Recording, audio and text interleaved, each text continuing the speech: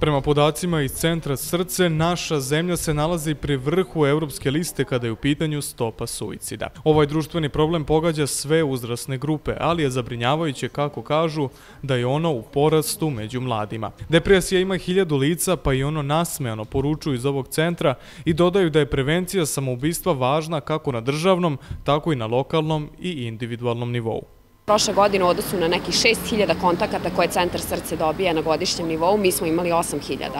Što znači da ipak je povećala se zapravo potreba ljudi da razgovaraju sa nekim o kako mislimo o samobistvu, tako i generalno problemima s kojima su se našli. Različite generacije se opredeljuju za različite kanale komunikacije, pa se tako mladi češće javljaju putem četa i maila, dok stari više zovu telefonom. Svi pozivi upućeni u ovom centru su besplatni, anonimni i poverljivi.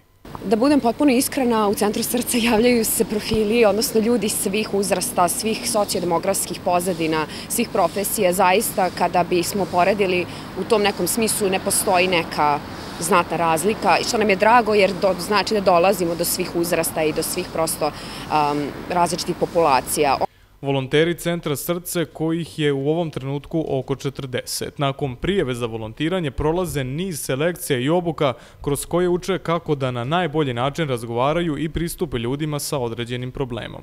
Mi smo zaista različitih profila i ono što je važno je da svako ko želi da postane naš volonter može to da učini, naravno ukoliko ima 18 godina pa nadalje. Svi volonteri nisu nužno ni psiholozi, ni psihijatri, ni psihoterapeuti, već ljudi koji imaju želju da pomognu.